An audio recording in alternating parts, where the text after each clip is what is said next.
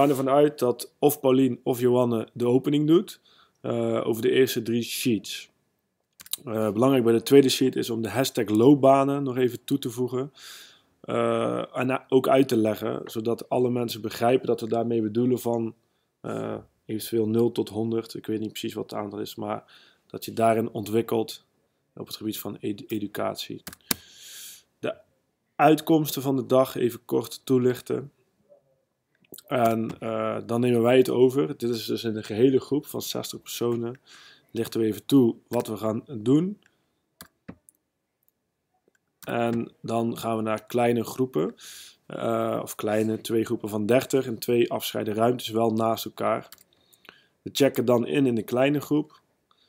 Uh, we lichten toe dat we deze muur hebben. Vergeet, vergeet me niet muur. Dan gaan we identificeren. Dan gaan we de elementen van de huidige uh, loopbanen elimineren. De klokken gelijk zetten.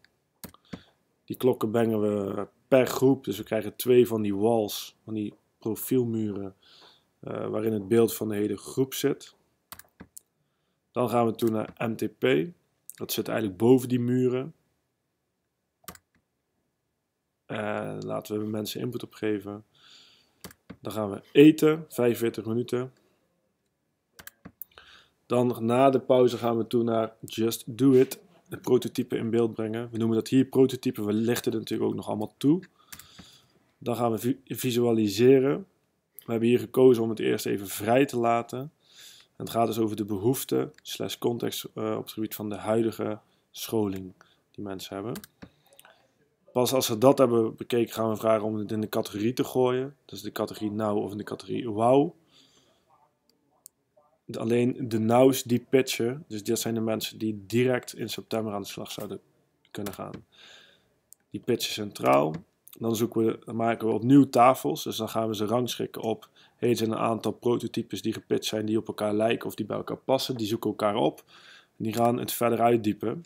Dan laten we ze eerst even zonder structuur uh, aanmodderen. Flip overval, zul je zien dat ze daar heel veel gaan praten. Uh, en dan geven we structuur, een mogelijke structuur. Dus het, uh, het canvas geven ze uitgeprint. Dan zeggen we, hé, hey, maar dit is eigenlijk de belangrijkste vraag. Wat moet er nou uit dit prototype komen? En dan zeggen we, gaan we door naar de over de streep. Leggen we natuurlijk ook weer even helemaal goed uit. En dan zeggen we eigenlijk van, nou, als je er overheen gaat, betekent dat je heel concreet in september aan de slag gaat. En waarschijnlijk dus al op 6 juli. Dan moet ik even kort sluiten met jullie.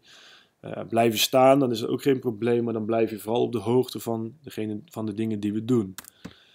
Zo checken we uit. We tekenen een bord met energielevels. Iedereen schrijft uh, een woord en of zijn naam op een post-it. Misschien is een woord beter. Um, dat hangen ze op in de categorie uh, waar ze zich het meeste thuis voelen. Van heb je hier energie van gekregen en blijf je in die energie om het uit te gaan voeren.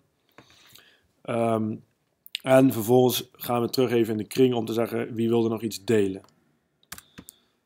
Nou, voordat we weggaan naar de borrel, vragen we de prototype uh, zeg maar teams om nog even, even kort omschrijving te maken van de leden, de karttrekker en andere info, zodat we dit kunnen gaan ondersteunen.